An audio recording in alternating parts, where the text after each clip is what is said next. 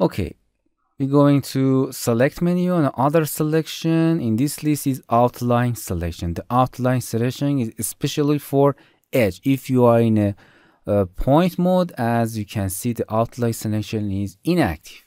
They are inactive. These are this selection is just for uh, edge selection. If you are in a polygon selection, it's automatically going to the uh, edge selection after clicking as you can see and it selects the outline of polygon. The outline for example you can select uh, the line around this hole in these objects. So another useful of this outline is here. You can simply select this outline. So you can select with the outline.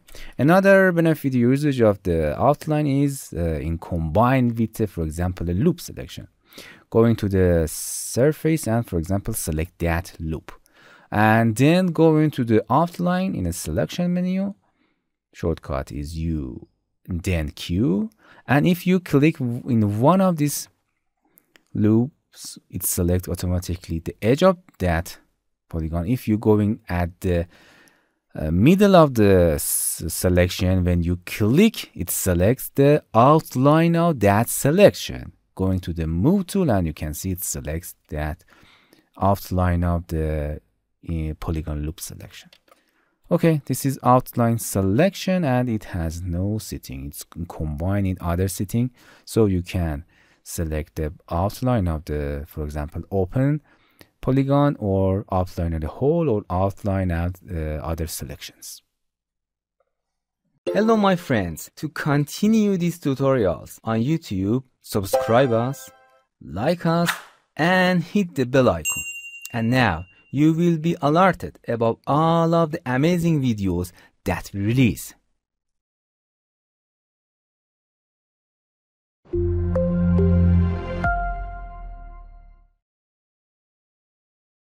Hello there, I'm Hamid RT from Tutorial Cells.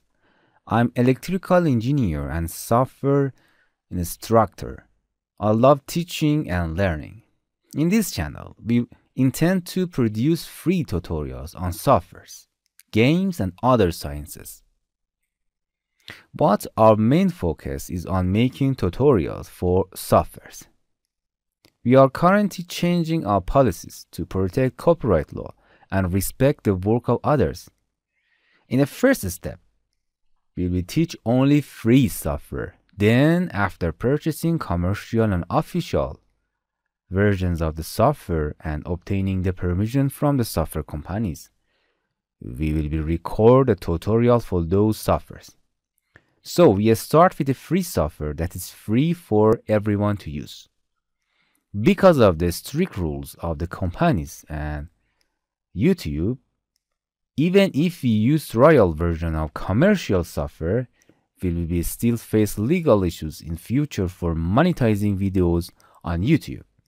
So, stay tuned for our new tutorial with free, powerful and functional software.